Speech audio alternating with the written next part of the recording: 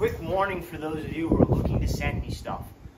If you send me something and I agree, don't expect me to give a fake review. I'm gonna tell people how I really feel about it, okay? So that being said, Yes Welder, all sorts of other companies try to send me their garbage, and I've taken it and I haven't given the review because, quite frankly, a lot of the stuff they've sent me is shit. But today, I got one I'm gonna actually make a video review. It's a weird one. This company reached out to me. I think it's they're called like Bolove or whatever. I'll put it up on the screen. It's so bad sign. I went to lift this thing, the handle ripped right off the damn case. But whatever. Maybe that's not a reflection of the product itself. So here it is. Yes, believe it or not, that is a welder. Um, it is DCEN only. As you can see the little negative sign up here, which is the electrode holder. Subscribe! And down here is the positive sign. And uh, this here just screws in like that. The little electrode holder, I have messed this a little bit. I haven't really welded with it too much. Just screws in like that. And then you just screw down whatever electrode you're gonna put into it. All right, let's see if this bad boy turns on. Okay, and as you can see, there's a digital screen. So the on-off button is also the adjustment. You can see I'm turning it up amperage-wise.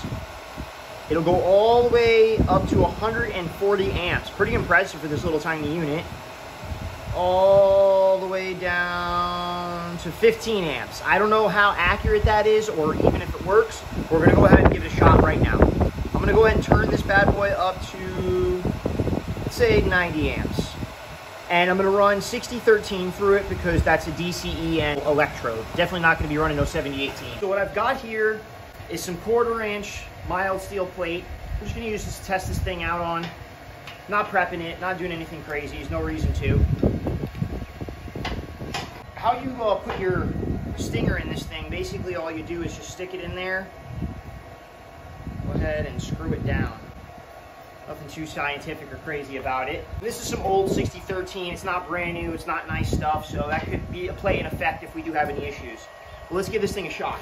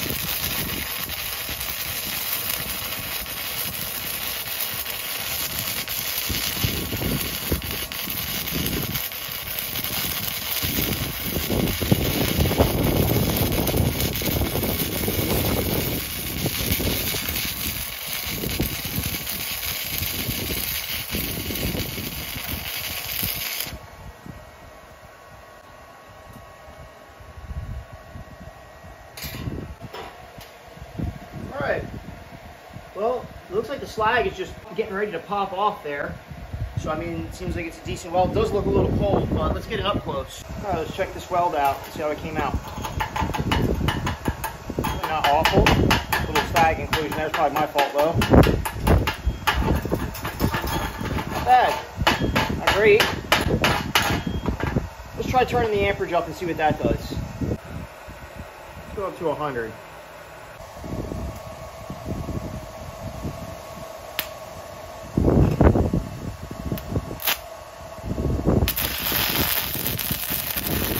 Little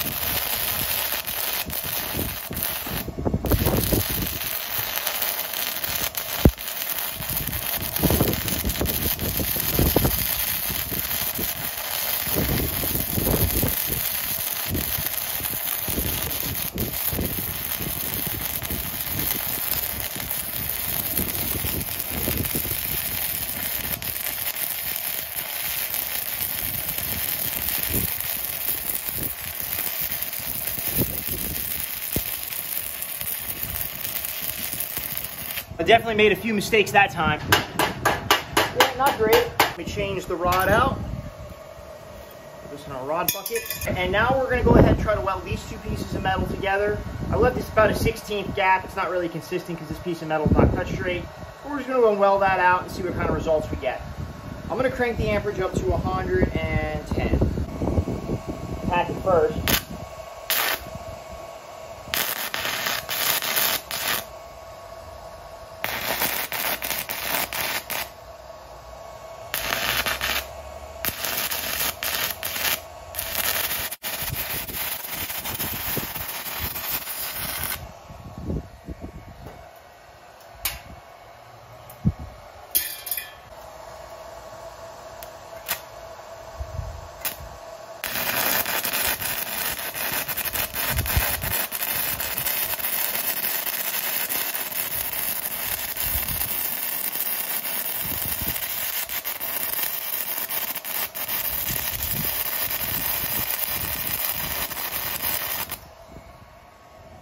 And it's good enough to join yourself two pieces of plate together. Not bad. It's actually not awful. It's not great. It's also not awful. It's not bad at all. For our next test, I'm going to attempt to do an uphill pass. I don't do any uphill 60-13, so this will be interesting.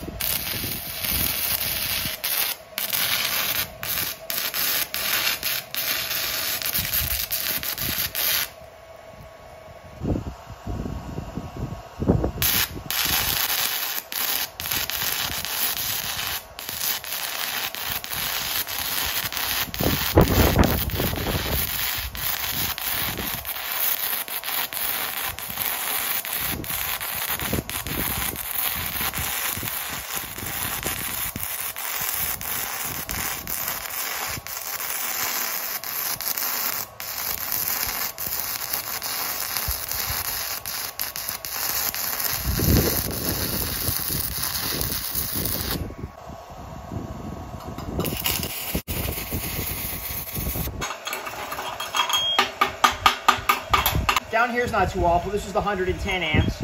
Here's where I restruck at 100 amps. And as you can see, not very good. This wasn't very good either. Definitely not passable. This, uh, I don't know. I mean, I could live with this. But up here, wow, that's horrible. But hey, is what it is. Here we have some eighth inch 7014 rods. I've actually never used this before. It's just been sitting in there, and as you can see, these things are fucking shot. Let's see. Yeah, it's never a good sign when the flux will bend like that with the rod. Yeah, these things are shot for sure. So that's okay. We're just messing around today, so we can use some shot out rods for this. It looks like eighth inch rod is the largest rod it will accept. So I'm gonna assume that this thing is about 20 amps off of where it should really be. Because it's saying 100, and that was more like what 80 amps runs like on anything else I've ever welded with. So I'm gonna kick this bad boy up to 130, assuming that's about 110. 7014. Let's see how this goes. I never welded with 7014 before. God knows why I bought that.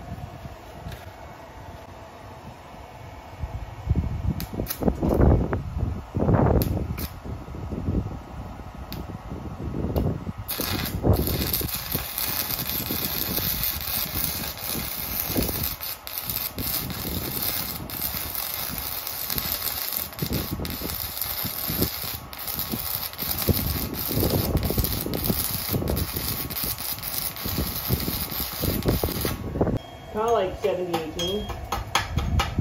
Still doesn't look hot enough. Max this bad boy out. Let's push her up all the way to 140. Let's see. Let's run another one. Like the 140 a lot better.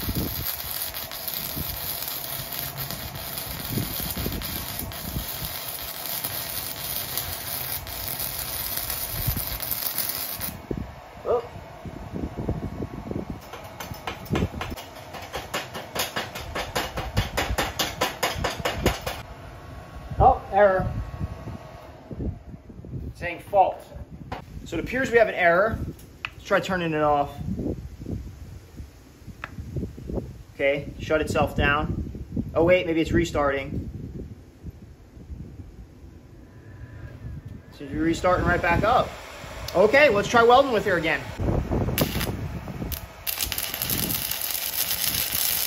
All right, now this thing's retacked to the table. Let's go ahead and try to run an uphill. I'm gonna run one right here, right next to the other one. And let's see how she does going uphill. Going up.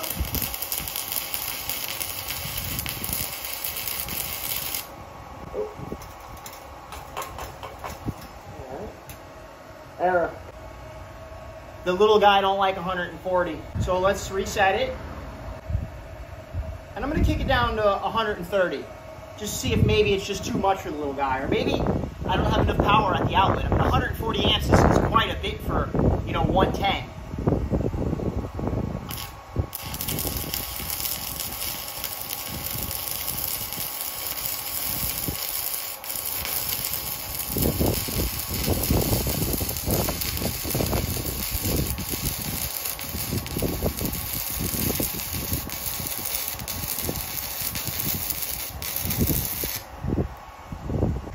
give her a big weave.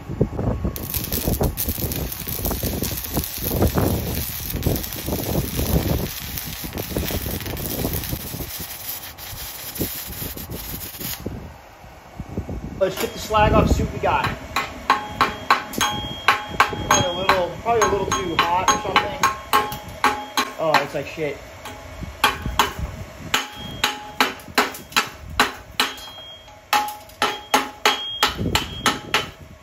Not good. Not good at all. But hey, look at these rods. They don't look too good, huh? They look like they've been sitting for a long time, and they have. Well, guys, I'm gonna be honest with you. I'm pretty impressed with the little guy. You can't run 70-18 with it. You can't run 60-10 with it, which are two of the rods that I run. Basically, that's all I run. I don't run 60-13 or 70-14. So it's a little useless to me. But to a homeowner, and they want something compact, that doesn't weigh a million pounds. They can whip it out to weld like a trailer leg on or fix some farm equipment. This thing's pretty fucking cool. I mean, look at it. It don't weigh shit. I mean, it's a little cumbersome when you're trying to weld with it, so it does take some getting used to, I'm sure. I'm sure if you gave me some time with it, I could get pretty decent with her. But, hey, it was free to me, so I can't complain, right? As far as professional-wise, this is not made for professionals but it is pretty impressive that it'll go from 15 to 140 amps. I've never seen anything like it. In fact, I didn't even know anything like this existed until they sent it to me. Well, guys, it's pretty cool. If you want to buy yourself one, there's a link down in the description below. Uh, don't buy this if you're planning on doing some serious welding, okay? Buy this if you want to fuck around, you want a little uh, conversation piece with your welder friends. That's really what it's good for. The engine drive still is not replaced. Don't think this is going to replace your engine drive. It is not. Maybe if they come out with the DCEP version, make it a little lighter, then yeah, I, I yeah, then fuck, I'll, I'll take both of the machines off my trucks and sell them because, you know, everybody's got 110 and this goes up to 140 amps. And let's be real, how many times do you guys go above 140 amps? I know I rarely go above 140 amps, even when I'm welding real thick shit because it's always beveled. All right, guys, I'm Meltin Metal Anthony. If you liked the video, like it. If you didn't, go fuck yourself.